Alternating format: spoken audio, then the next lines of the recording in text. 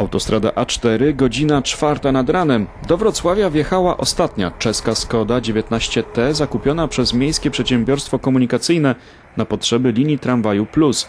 Ponad 30-metrowy tir z tramwajem waży 100 ton i pali, uwaga, 100 litrów paliwa na 100 kilometrów. Jest to kilkadziesiąt metrów ta laweta. Nie każdy taką lawetę posiada, także, także no, też musieliśmy tutaj odpowiedniego przewoźnika znaleźć, poszukać. Z czeskiego Pilzna tir jechał do Wrocławia przez Niemcy, bo to jedyna trasa umożliwiająca przewóz tak nietypowego ładunku.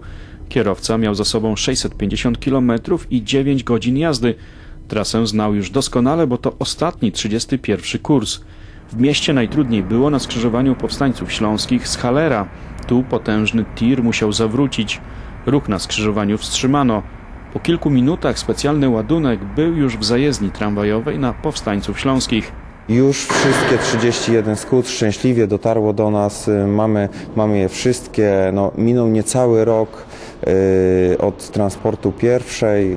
Rozładunek rozpoczął się w południe. Tramwaj na tirze transportowano na specjalnych torach. Po dwóch godzinach operacja została zakończona. Teraz w zamkniętej hali przez 2-3 dni będzie przygotowywany do jazdy po mieście. A to już zadanie innymi dla lakierników. Pan Dariusz na każdej czeskiej Skodzie we Wrocławiu musiał nakleić 240 takich informacji. Nam one się podobają, nie? No to nic lepszego na razie w mieście nie mamy, nie? Uważamy, że są niezłe. Skoda 19T będzie jeździć z numerem 3131. Pasażerowie spotkają ją na jednej z trzech tras obsługiwanych przez Tramwaj Plus. Z Gaju i Stadionu Olimpijskiego na Kozanów i Nowy Stadion. MPK na zakup czeskiego taboru wydało 250 milionów złotych.